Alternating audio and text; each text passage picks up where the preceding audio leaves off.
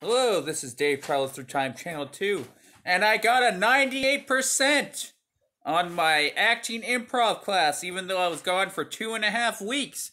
98% people! Awesome! Wow, I'm shocked. 98%. 98.75% on my acting improv class. How cool is that? 98.57.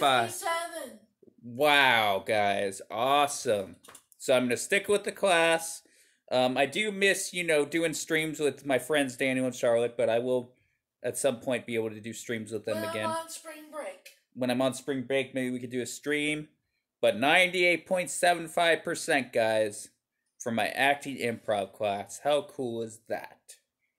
So, yeah. And then I'm going to do Dark Knight Rises Watch Along stream pretty soon.